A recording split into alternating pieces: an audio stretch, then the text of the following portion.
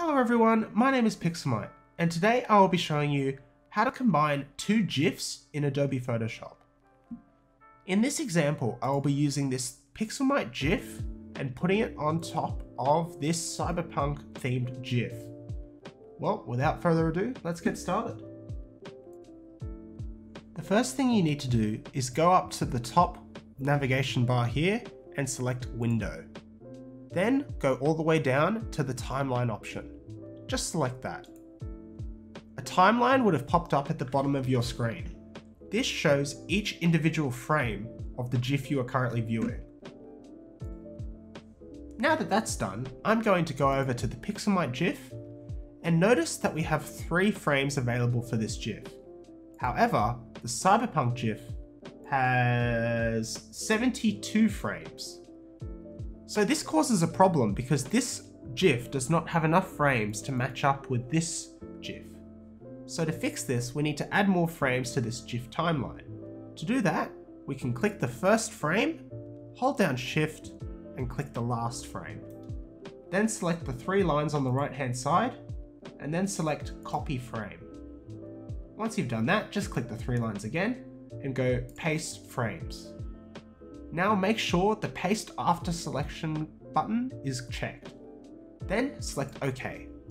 Now we have another three duplicate GIF frames added to our timeline. So I'm going to do this a couple more times. Give me one sec.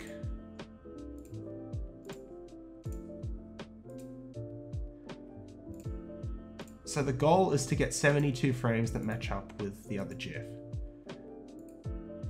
So you can also, because we don't want to do this in, for a really long time, you can also copy a few and then do the same process again just to make the process a bit quicker.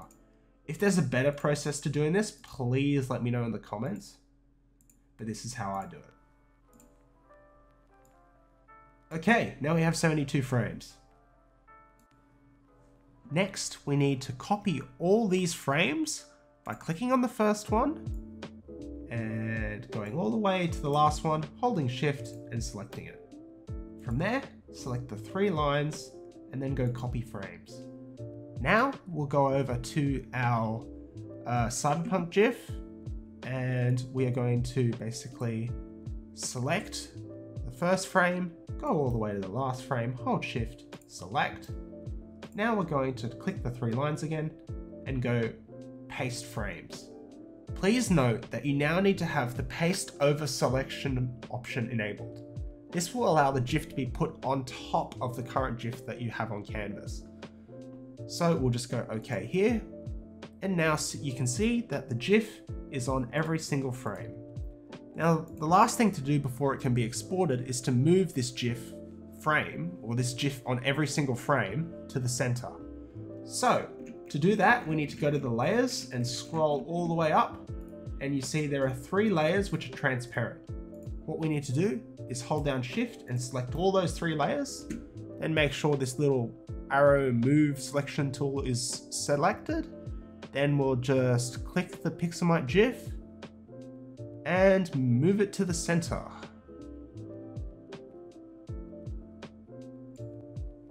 Once that's done, select File, Export, then we'll go Save for Web.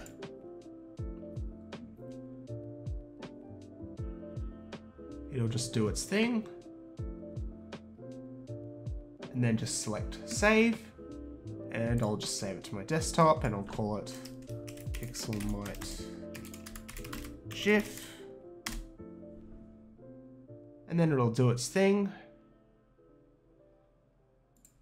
Once it's saved, it should come up on your desktop. Pixelmite GIF. And there we go. You have successfully put one GIF on top of another one. Congratulations. I hope you enjoyed the video. Laters.